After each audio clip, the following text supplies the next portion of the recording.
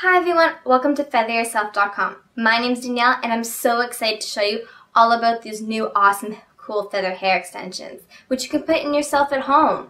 There's a bunch of different colors you can choose from to get the look that's exactly right for you. So some different color combinations you could use are pink and blue,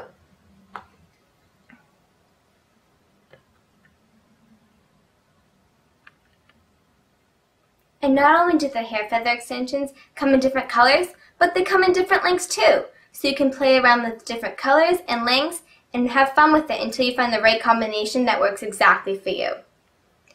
And also, you might want to consider the outfit you're wearing that day to pick the combination of colors that you want. So if you're wearing a blue top like this, you might want to do something like an orange grizzly so it'll really stand out.